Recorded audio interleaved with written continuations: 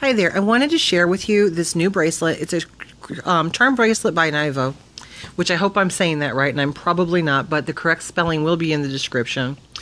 This is a designer inspired bracelet with a serpent chain and Murano glass charms. Each one of these charms is just adorable. They've got stones set right in them.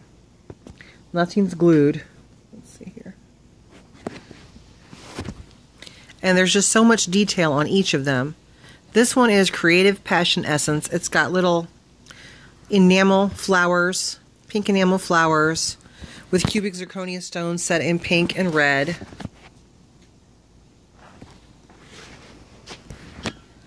That's the little fish charm.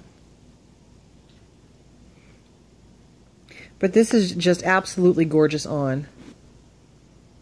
And I will include a link to it in the description as well. This is a very solid bracelet.